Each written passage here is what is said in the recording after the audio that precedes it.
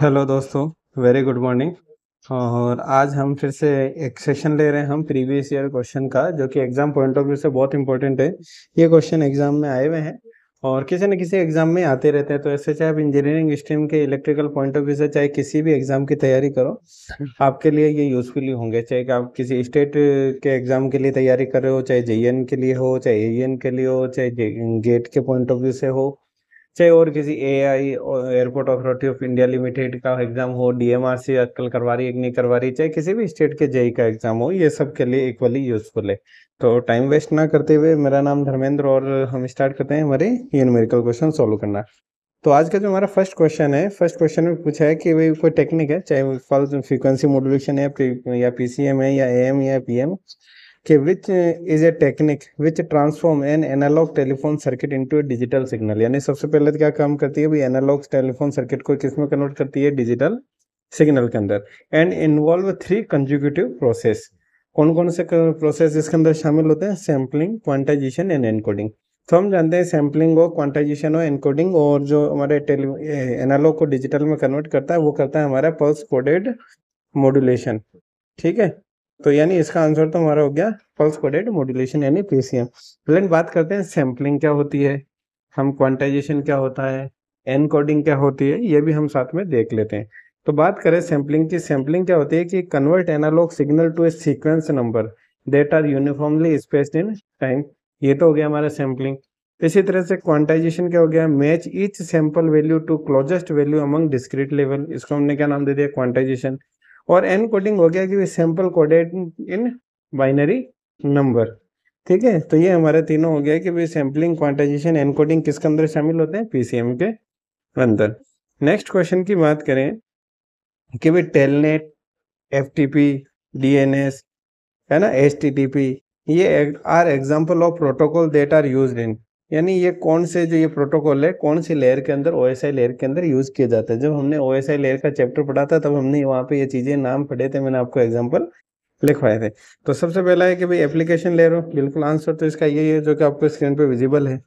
Presentation layer of OSI reference model के अंदर protocol होते हैं। एक तो था आस्की ये होता है जेपीजी एक होता है जी और प्रेजेंटेशन लेयर का काम क्या होता है? Coding and conversion of function session layer की बात करें, session layer of OSI layer reference model है, उसके एग्जांपल है एन एफ़ एस एसक्यूएल और काम क्या होता है इनका? सेशन लेयर का maintain and termination terminate communication और दूसरा एयर रिपोर्टिंग का काम भी हमारे सेशन लेयर के अंदर किया जाता है। फोर्थ है हमारी data link layer data link layer हमारे के उसके एग्ज़ाम्पल क्या है? प्रोटोकॉल के इथरनेट एंड टोकन रिंग तो हम एक क्वेश्चन को इसी तरह से करेंगे कि जो एग्ज़ाम में चार हमारे ऑप्शन है, वो भी हमें नलीफाई करना आना चाहिए कि भाई इसका आंसर अगर हमें नहीं पता तो कैसे करें? ठीक है? अब बात आती है भाई which type of error detection use binary division ये बहुत बार क्वेश्चन एग्ज़ाम में पूछा गया, और बहुत एग्ज़ाम में पूछा गया, वो था cycle redundancy checking error detection के लिए। The flag which is not use for branching in a microprocessor जब माइक्रो प्रोसेसर पढ़े थे, तब हमने वहाँ पे ब्रांचिंग इंस्ट्रक्शन पढ़े थे। पढ़े थे?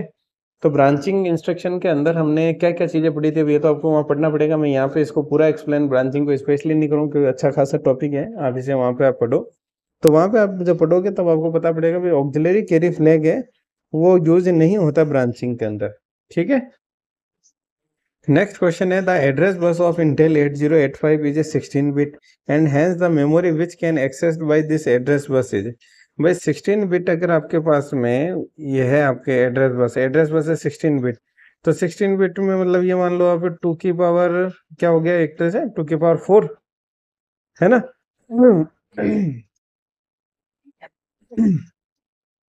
एड्रेस बस है मेरे पास में सिक्सटीन बिट सिक्सटीन बिट का मतलब है मैं टू की पावर सिक्सटीन लोकेशन इससे क्या कर सकता हूँ? अपन आइडेंटिफाई कर सकते हैं। टू की पावर सिक्सटीन में से टू की पावर टेन तो मेरा क्या हो गया? टू की पावर टेन इंटू इसको लिख सकता हूँ मैं टू की पावर सिक्स। टू की पावर टेन टेन का मतलब हो गया मेरा किलोबाइट ठीक है? किलोबाइट और टू की पावर सिक्स का मतलब हो गया सिक्सटी फोर तो इसका आंसर मेरा क्या हो जाएगा? सिक्सटी फोर किलो बाइट जो कि एग्ज़ाम में सिक्सटी फोर बाइट लिख रखा है। एक्चुअली इसको आप आंसर में कर दो। सिक्सटी फोर किलो बाइट तो इसका आंसर क्या हो जाएगा? डी अब नेक्स्ट क्वेश्चन की बात करें। The register which keep track of the sequence of the instruction execution the register which keep track of sequence of instruction. तो जो नेक्स्ट यानी सीक्वेंस का मतलब क्या हो गया? ट्रैक ऑफ़ सीक्वेंस यानी इस जो भी हमारा माइक्रो प्रोसेसर प्रोग्राम एग्जीक्यूट करेगा तो हमारा जो भी नेक्स्ट इंस्ट्रक्शन परफॉर्म होना, उसका एड्रेस किसमें सेव होता है? हमारा प्रोग्राम काउंटर के अंदर। तो हमारा कौन सा हो गया register? Program counter which keep track of sequence of the instruction execution next question हमारा the scheme use for data transfer between microprocessor and input output device तो हमारा सिंकोनस डेटा ट्रांसफ़र भी होता है, हमारा एसिंक्रोनस ट्रांसफ़र भी होता है इंटरप्ट ड्रिवन डेटा ट्रांसफ़र भी होता है तो हमारा आंसर क्या हो जाएगा? All of above next question की बात करें a ring counter consisting of five five flip flop will have five state ten state thirty two state infinite state तो रिंग काउंटर है, अगर उसके अंदर फाइव फ्लिप फ्लॉप है तो हमारी स्टेट भी कितनी होगी? फाइव क्योंकि state ring counter with N flip flop will have N state therefore the ring counter with five flip flop will have five state next question the characteristics of a flip flop is the flip flop is a bistable device with only two stable state बिल्कुल Q bar and Q हमारे दो state होते हैं ना the flip flop है two output signal the output are complement of each इधर Q and Q bar तो हमारा आंसर क्या हो जाएगा? All of above next question है which of the following flip flop can not be converted to D type flip flop यानी किसको वो क्या कहते हैं? कैन नॉट बी कन्वर्ट यानी जिसको कन्वर्ट नहीं किया जा सकता।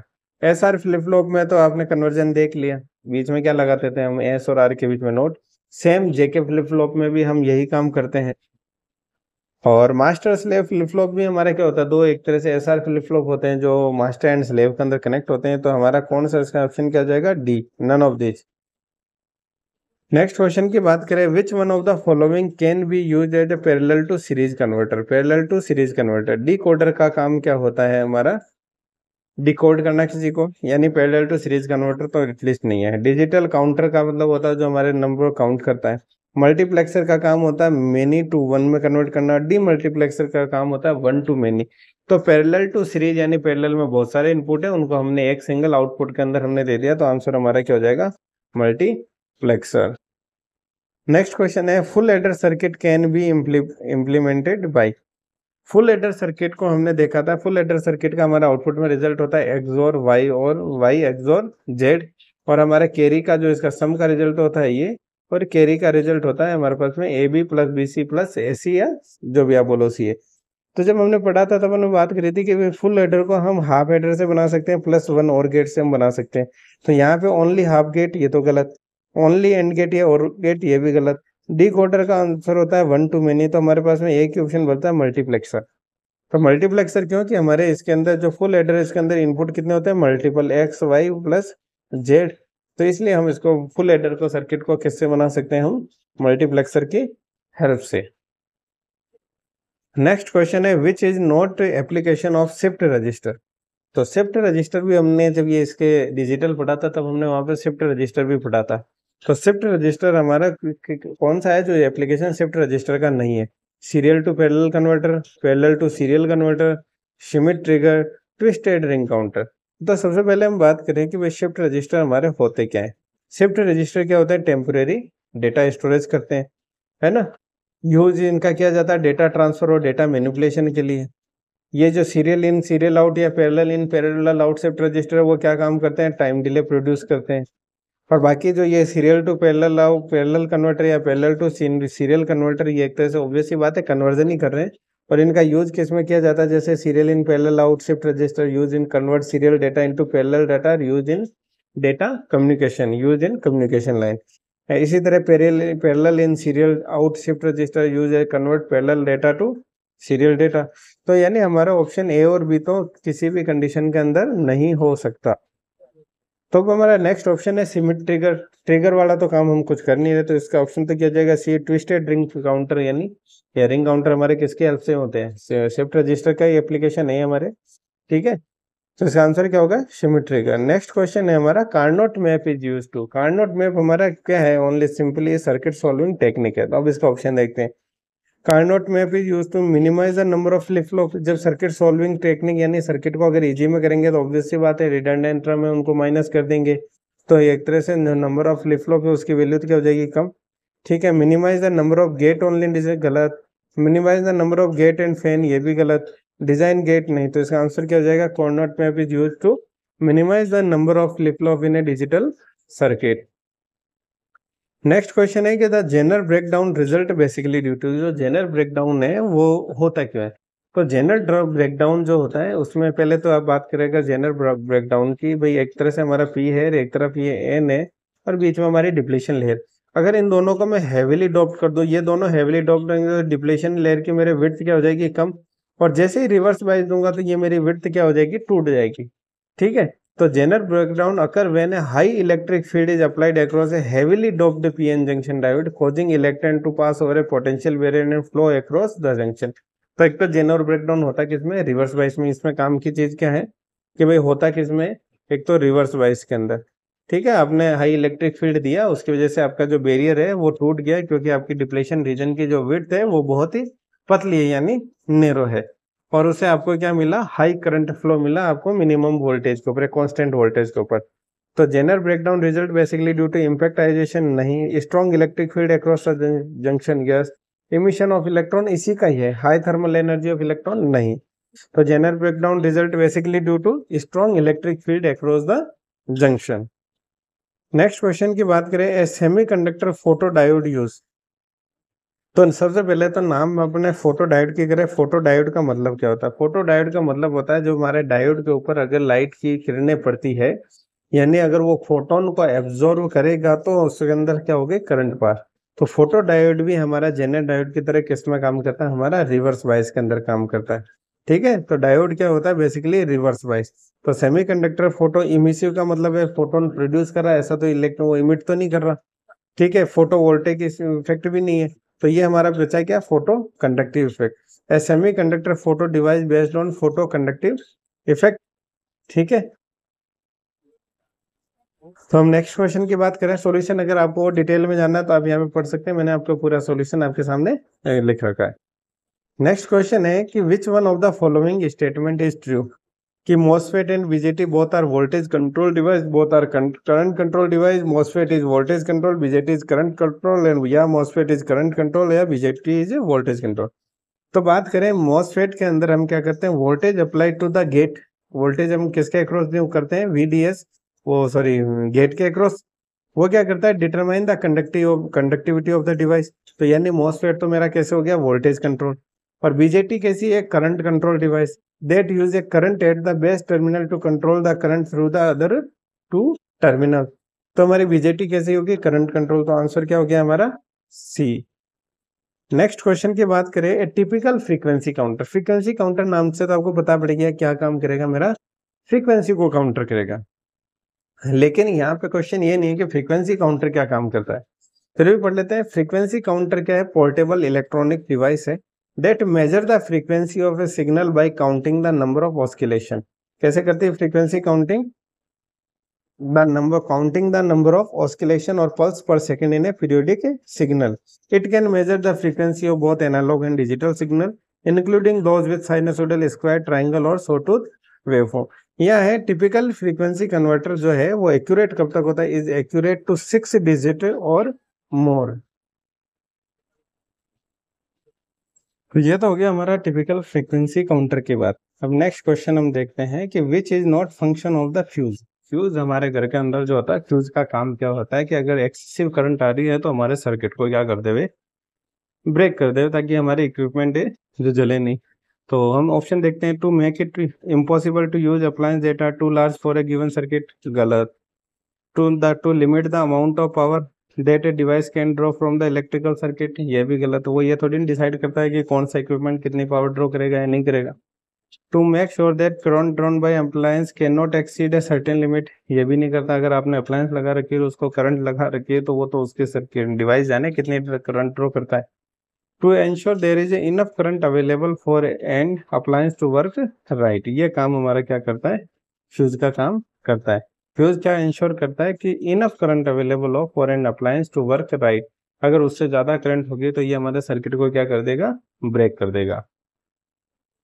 नेक्स्ट बात करें oscilloscope can not be use to indicate oscilloscope हमने सीआरओ पढ़ा, उसके साथ में सीआरओ एक तरह से कैथोड रे ऑस्किलोस्कोप जब पढ़ा तो वो क्या काम करता है? फ्रीक्वेंसी को मेजर करता है। ठीक है। पीक सिग्नल वोल्टेज करता है। ठीक है। ये वेव शेप की भी करता है, लेकिन वो हमारा एनर्जी को इंडिकेट नहीं करता है। तो an oscilloscope can not be use to indicate energy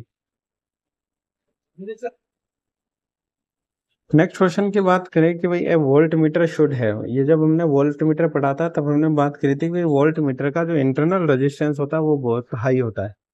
क्यों होता है? ताकि उसके अंदर जो करंट है, वो मिनिमम से मिनिमम जाए, अगर हाई रेजिस्टेंस होगा तो ताकि वो वोल्ट मीटर के अंदर एरर ना प्रोड्यूस हो।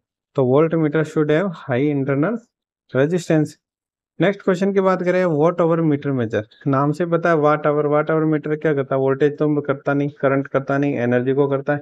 क्योंकि वॉट तो किसके है? डिवाइस पावर की। और पावर इनटू टाइम क्या होता है? हमारा energy energy per unit time को हम क्या बोलते हैं? पावर पावर क्या होता है? हमारा एनर्जी पर यूनिट टाइम तो पी इंटू टी हमारा क्या हो गया? पी की यूनिट होगी वाट और ये टाइम की यूनिट होगी आवर तो ये हमारा क्या मेजर करेगा? एनर्जी नेक्स्ट क्वेश्चन की बात करते हैं device use to indicate the presence of an electric current कौन सी डिवाइस है जिसको यूज़ किया जाता है टू इंडिकेट करने के लिए कि भाई करंट अवेलेबल है? तो इलेक्ट्रोमीटर क्या काम करता है? इलेक्ट्रिक चार्ज को मेजर करता है। गैल्वेनोमीटर हमारा इंडिकेट करता है presence of electric current volt meter हमारा वोल्ट वोल्टेज मेजर करता है। और ये कोलोमीटर क्या करता है? ये दो दो टर्म से बना है, कुलाम्ब प्लस मीटर तो coulometer is a chemical analysis instrument that measure the amount of electricity used और produce during an electrolysis reaction which is in turn determine amount of metal transform ठीक है? नेक्स्ट क्वेश्चन की बात करें hot wire ammeter क्या करता है? ये हमने इंस्ट्रूमेंट पढ़ा can measure AC as well as DC resistance current change very fast गलत. Can indicate very low voltage गलत. कैन मेजर इलेक्ट्रिकल एनर्जी नहीं. ये क्या करता है हमारे? AC and DC as well दोनों को क्या करता है? मेजर करने के काम में आता है। नेक्स्ट क्वेश्चन पर बात करें with the drive motor use in a mixer grinder अगर आपके पास में कोई भी ऐसा क्वेश्चन आए जिसके अंदर आपके डोमेस्टिक अप्लायंस आए तो उसका आंसर होगा यूनिवर्सल मोटर यूनिवर्सल मोटर को हम डीसी सीरीज़ मोटर के नाम से भी जानते हैं। तो डीसी सीरीज़ मोटर बोलो या यूनिवर्सल मोटर बोलो, ये क्या काम आती है हमारे डोमेस्टिक अप्लायंस के अंदर, जहाँ पे हमारे small amount of energy consumption होता तो डीसी अगर यहाँ पूछे भाई डीसी मोटर डीसी मोटर दो तरह की होती है। सीरीज़ मोटर भी होती है और शंट मोटर भी होती है। तो डीसी सीरीज़ मोटर की बात करें तो वो होती है जहाँ पर हमें स्टार्टिंग में बहुत हैवी करंट की ज़रूरत पड़े। डीसी सीरीज़ मोटर के अंदर ही हम स्टार्टर में स्टार्टर यूज़ करते हैं। तो वो क्या होती है, हमारी ट्रेन होती है, यानी एक तरह से ट्रैक्शन सिस्टम क्रेन हो गई, हमारी कंप्रेसर हो गया। डीसी शंट मोटर की बात करें जहाँ हमें कॉन्स्टेंट स्पीड की बात ज़रूरत लगे। तो हमारी क्या होगी लेथ मशीन पंप हो गए, हमारे ब्लोवर हो गए कन्वेयर हो गया वेविंग मशीन हो गया स्पिनिंग मशीन हो गए। इसी तरह से बात करें डीसी कंपाउंड मोटर के एप्लीकेशन डीसी कंपाउंड मशीन के एप्लीकेशन होते हैं pressure shear elevator rolling machine यहाँ का आपका एग्ज़ाम्पल है इलेवेटर इंपॉर्टेंट स्टेपर मोटर की बात करें तो क्या होती है थ्री डी प्रिंटिंग इक्विपमेंट है small robotics C N N C में सी मिलिंग मशीन के अंदर क्या यूज़ होती है हमारी स्टेपर मोटर तो एक एग्ज़ाम्पल का, एक एग्ज़ाम्पल पूछा, मैंने आपको इतने सारे एग्ज़ाम्पल साथ में और तो बता दिए हैं। नेक्स्ट क्वेश्चन की बात करेंगे भाई स्टेपर मोटर क्या है? स्टेपर मोटर हमारी डीसी मोटर है, या सिंगल फ़ेज़ ऐसी मोटर है, या मल्टी फ़ेज़ ऐसी मोटर है, या टू फ़ेज़ ऐसी मोटर है? तो ये हमारे स्टेपर मोटर क्या होते हैं? मल्टी फ़ेज़ मोटर होती है। अब मल्टी फ़ेज़ में हम टू फ़ेज़ भी इसको कह सकते हैं तो यहाँ क्या दोनों ही ऑप्शन करेक्ट है। आपके टू फ़ेज़ भी बोल सकते हैं, मल्टी फ़ेज़ फ़ेज़ भी बोलते हैं। लेकिन बात करते हैं भाई स्टेपर मोटर होती क्या है? तो stepper motor is a type of electrical motor that convert, ये क्या काम करती है? डिजिटल पल्स होती है है ना? Digital pulse into mechanical shaft rotation क्या करती है? डिजिटल पल्स को कन्वर्ट किसमें करती है? मैकेनिकल शाफ्ट रोटेशन के अंदर. इट्स इसके में ये ये क्या कहते हैं? प्रॉपर्टी कैसे होती है? ब्रशलेस होती है. सिंक्रोनस मोटर होती है with stationary stator and moving rotor तो ये पूछ लिया जाता है केवल स्टेपर मोटर कैसी होती है? एक तो मल्टी फ़ेज़ होगी. दूसरी, ये कैसी होती है? ब्रशलेस होती है. तीसरा कि भाई सिंक्रोनस मोटर है. तो है भाई स्टेशनरी इसके अंदर स्टेटर होता है रोटर कैसा होता है? हमारा मूविंग पार्ट होता है. नेक्स्ट बात करें हम सेलिंग फ़ैन की, जो कि हमारे घरों के अंदर यूज़ होता है, जो कि हम छत पे लगाते हैं। तो सेलिंग फ़ैन हमारा कैसा यूज़ होता है? वो कौन सी मोटर लगी होती है सीलिंग फ़ैन के अंदर? स्प्लिट फ़ेज़ मोटर होती है? नहीं। कैप्सिटर स्टैंड कैप्सिटर मोटर होती है? यस यूनिवर्सल मोटर हमारी डोमेस्टिक अप्लायंस के अंदर छोटे जैसे आपकी, क्या होगी जैसे हमने मिक्सर ग्राइंडर की बात की थी, है ना? कैप्सिटर स्टार्ट मोटर नहीं। तो हम ये बात करते हैं भाई जो ये दूसरी मोटर है सिंगल फ़ेज़ मोटर उनके एप्लीकेशन क्या क्या है? तो स्प्लिट फ़ेज़ जैसे आपके सामने स्प्लिट फ़ेज़ मोटर का एग्जांपल क्या है? स्प्लिट फ़ेज़ मोटर कहाँ पर यूज़ होती है हमारी? Small drill presses shop grinder small belt driven conveyor washing machine यानी जहाँ पे मुझे स्टार्टिंग टॉर्क की रिक्वायरमेंट थोड़ी ज़्यादा हो, वहाँ पर मैं क्या यूज़ करता हूँ? Split phase motor capacitor run induction motor ये हमने देख लिया किसके अंदर? सीलिंग फ़ैन के अंदर कंप्रेसर के अंदर रेफ्रिजरेटर के अंदर, है ना? यहाँ पे हमारे क्या होगी? Capacitor run induction motor shaded pole motor होती है हमारे हेयर ड्रायर के अंदर टॉयज के अंदर रिकॉर्डर प्लेयर के अंदर स्मॉल फैंस के अंदर इलेक्ट्रिकल क्लॉक के अंदर। और ऐसी सीरीज़ मोटर जो होती है हमारी, उसको हम यूनिवर्सल मोटर भी बोलते हैं, मैंने आपको बताया था। वो हमारे सॉरी वहाँ मैंने बोल दिया था आपको डीसी फ्लो फ्लो में एक्चुअली ऐसी सीरीज़ मोटर होती है, उसको हम बोलते हैं यूनिवर्सल मोटर तो वो हमारी किस्म होती है, जैसे सिलाई मशीन के अंदर किचन एप्लीकेशन के अंदर टेबल फ़ैन के अंदर फ़ूड मिक्सर के अंदर वेकम क्लीनर के अंदर। हम नेक्स्ट क्वेश्चन बात करते हैं हिस्टेरिसिस मोटर। हिस्टेरिसिस मोटर क्या होते हैं it hysteresis motor is is not a self starting motor नहीं सेल्फ स्टार्टिंग होता है। It is a constant speed motor yes need DC excitation no can not be run in reverse speed no तो hysteresis motor की बात करें तो हम rotor पे क्या कोई भी एक्साइटेशन प्रोवाइड नहीं करवाते हैं। ठीक है? हिस्टेसिस मोटर के स्टेटर की बात करें तो इसमें दो तरह की वाइंडिंग होती है। एक वाइंडिंग होती है मेन वाइंडिंग दूसरी होती है हमारी ऑक्सिलरी वाइंडिंग है ना? और इसके अंदर कभी कभार ये शेडेड टाइप के पोल भी हम यूज़ करते हैं। और रोटर की बात करें तो इसके अंदर रोटर किसी प्रॉपर्टी पे बेस्ड होता है कि उसके अंदर हाई हिस्टेरिसिस लॉस हो, जिस लॉस को हम यूज़ करके क्या करते हैं, हमारी मोटर को यूज़ करते हैं।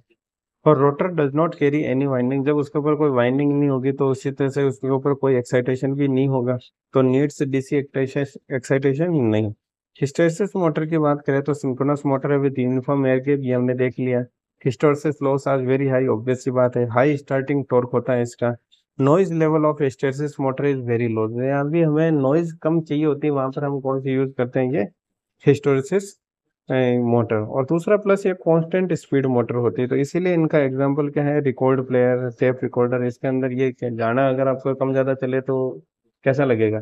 तो ये क्या कांस्टेंट स्पीड के अंदर अगर यूज़ करना हो तो वहाँ पर हम कौन सी यूज़ करते हैं?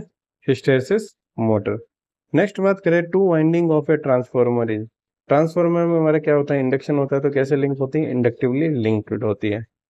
नेक्स्ट क्वेश्चन बात करें था बीजेटी है जो three pin junction three P N junction गलत।